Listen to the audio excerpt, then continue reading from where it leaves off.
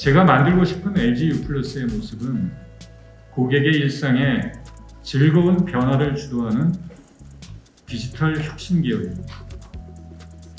이를 실현하기 위해 LG U 플러스는 고객에 대한 철저한 이해를 바탕으로 고객이 한번 우리 서비스를 사용하면 LG U 울타리 안에 계속 머물면서 사용 경험을 늘려나가게 하고 이러한 고객들이 차츰차츰 늘어나 회사의 성장적 동력이 더욱 튼튼해지는 질적 성장 구조를 만들어 나가고 있습니다.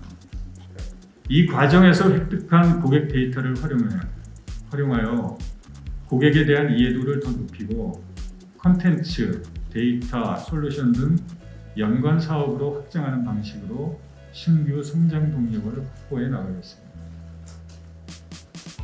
저희는 OTT를 고려한 투자보다는 저희의 기존 서비스를 강화하는 데 집중해서 오리지널 컨텐츠 제작 투자를 적극적으로 확대해 나가겠습니다.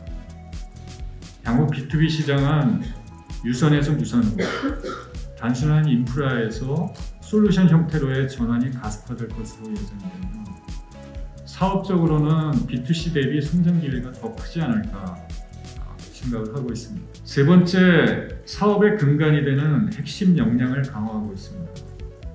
AI, 빅데이터, 클라우드, 보안, B2B 솔루션, 컨텐츠 등 주요 분야에서 핵심 역량을 확보하기 위해 모든 가능성을 열어두고 파트너들과 협력 관계를 만들어 나가면서 필요시에는 전략적 투자, M&A 등을 적극 추진하겠습니다.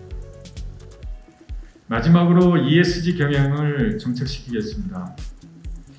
CSR 분야에서는 디지털 기술을 활용한 교육 격차 해소를 위해서 노력하고 있습니다. 올해 ESG 경영을 한층 더 강화하기 위해 사회이사 중심으로 ESG 위원회를 신설하였습니다.